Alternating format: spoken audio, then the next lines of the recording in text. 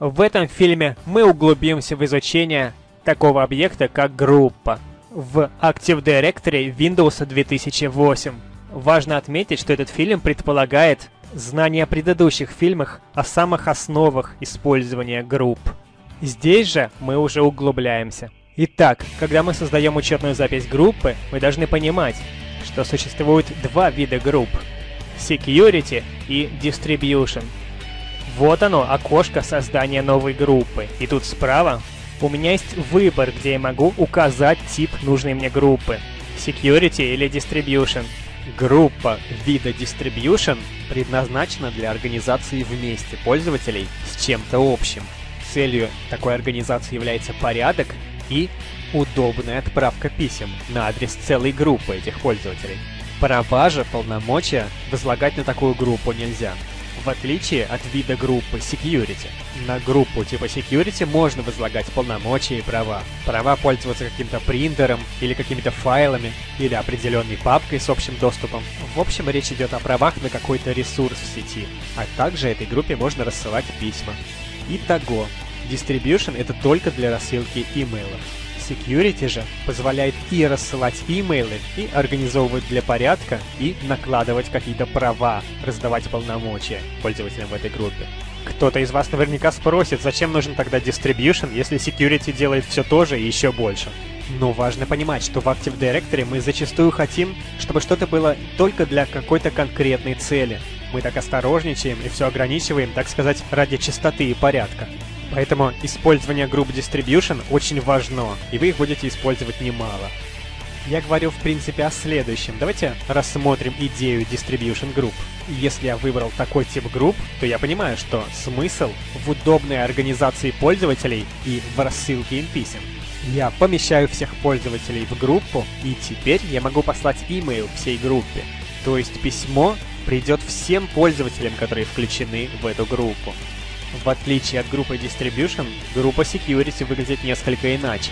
Мы заносим пользователей в группу, и теперь мы точно так же, как в Distribution, можем рассылать им письма на имя группы.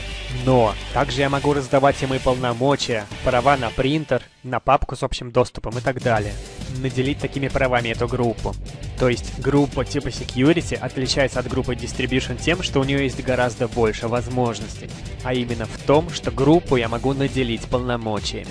Очень важно понять этот принцип, Теперь давайте поговорим о границах применения, о скоупах, о скоупе группы. Когда я создал группу, distribution ли, security ли, после нам надо решить, будет ли эта группа с границами применения global или же со скоупом local или же ее границы применения будут universal. То есть есть три скопа, три вида границ применения, которые я могу выбрать для группы. Global, Local и Universal. Кстати, между типами групп Distribution и Security можно делать изменения после. То есть Distribution можно перевести в Security и наоборот. Тут нет ограничений на это. То же самое и со скопами. Если вы создали группу с определенными границами применения, вы можете перевести ее в другие границы применения. Но, конечно же, вы понимаете, что если вы, например, переводите группу типа Security в группу типа Distribution, а на группу были возложены какие-то права, то все эти права, полномочия исчезнут. Итак, принцип области применения Local, Scope Local. Дорогие зрители, локальная группа — это группа, которая не может выйти за пределы домена рекомендуется использовать такой тип скопа, когда идет речь о правах на какой-то ресурс. Например, это группа тех, кто может пользоваться каким-то принтером или папкой с общим доступом. Принято касательно каждой папки с общим доступом, касательно каждого принтера, касательно каждого ресурса, который у нас есть в сети, стоит и следует создать локальную группу. Примеру, у меня есть цветной принтер, и для него я создаю локальную группу Color Printer Full. И эта группа имеет Full Control над этим принтером. А также непременно я создам еще одну группу для этого принтера. Ее я назову Color Printer Print Only. Эту группу я наделю правами лишь распечатывать на этом принтере. Внимание, я просто создаю группу, в ней нет пользователей, в ней ничего нету. Я просто создаю ее относительно какого-то ресурса в этом домене. То же самое касательно файлового сервера. На нем у меня есть папка с общим доступом Accounting.